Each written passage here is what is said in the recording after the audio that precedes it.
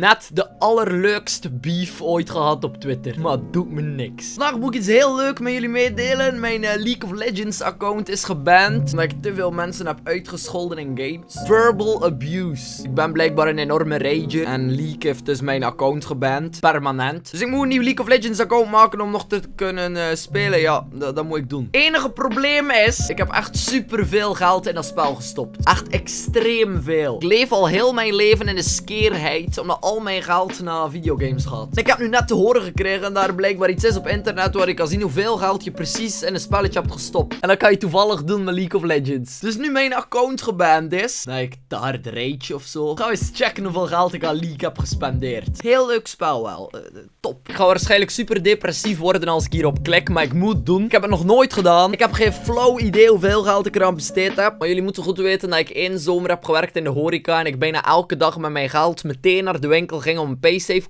En dan kocht ik echt 50 euro aan RP of zo. Om gewoon mijn mannetje een leuke skin te geven. Ik was niet eens goed in League of Legends. Ik suck fucking hard. Maar het is leuk om met leuke skins rond te lopen en een beetje te showen met je money. En nu ben ik alles kwijt. Dus let's go. Get data. Zo fucking spannend. Het is echt lang geleden dat ik zo gestrest ben geweest. Nu ga ik gewoon zien hoeveel geld er letterlijk verloren is gegaan.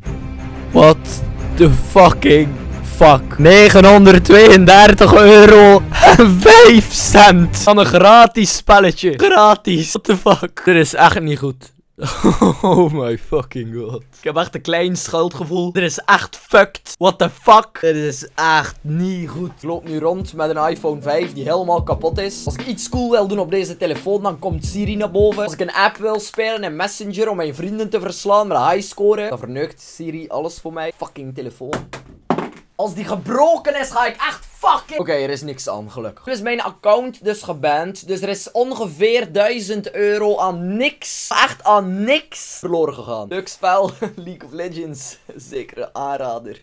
Fuck. Ergste is dat League of Legends niet het enige spel was waar ik een zware koopverslaving in had. Counter-Strike heb ik ook fucking veel geld betaald voor een paar knives. Die ik dan allemaal vergokt heb. Op Habbo Hotel. Daar gaan we misschien beter niet eens over beginnen. Ik weet nog dat ik 12 jaar was en ineens had ik een rekening van 200 euro voor mijn telefoon. Probeer dat eens uit te leggen aan je ouders. Ik ben 12 jaar. Ik heb de fucking rekening van 200 euro voor je telefoon. Echt, Habbo heeft echt veel verneukt in mijn leven. Dan ben ik Sunny Day gaan spelen. Dat was het uh, Habbo Hotel voor skere mensen. Zoals mij. En dan toch heb ik nog altijd fucking veel geld opgedaan als Sunny Day ook. Ik weet niet wat het is. Ik weet echt niet wat het is. Maar er was nog een spel. Er was nog een spel die niet eens meer bestaat. Er was een spel waar ik fucking veel geld heb in gestopt. Die gewoon van dag op dag gestopt is. Al mijn geld was weg. Niet of er mensen zijn die deze video kijken die dit spel misschien gaan kennen. Het spel was Q-Bang. En ik meen het, op dit spel heb ik, wow, meer gespeeld dan Pokémon.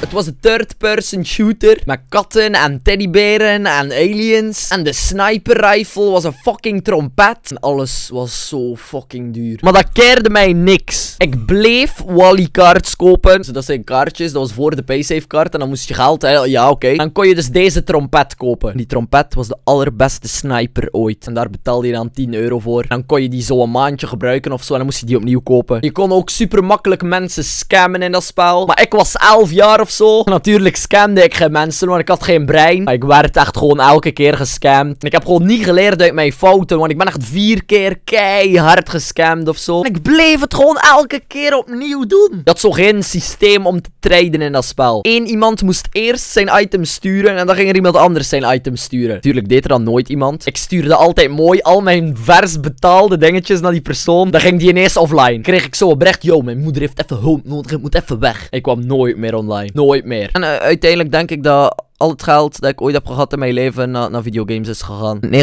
90% daarvan een Q-Bang. Dat betekent dus dat ik het volledig heb vernukt. Om nu te zien dat mijn League of Legends account geband is. Naar 932 euro en 50 cent op stond. Voor een paar fucking skins. Dat is echt, echt, echt heel erg deprimerend. Als ik veel blijf uploaden in december en leuke video's blijf maken, ga ik uiteindelijk wel mooie kluiten verdiend hebben. Dus dames en heren, blijf zeker een duimpje omhoog. En voor de mensen die de beef hebben gevolgd op Twitter, dik shout-out naar jou. Jullie moeten niet denken als Gruzie en mijn andere YouTubers dat mijn video's slecht geworden of zo. Ik hoop ook niet dat hier zo mensen naar mij kijken die zeggen van...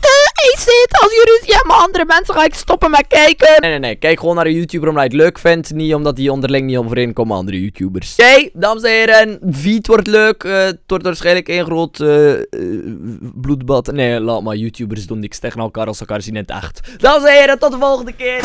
Oh, fuck. Dit kreeg ze losse aanval.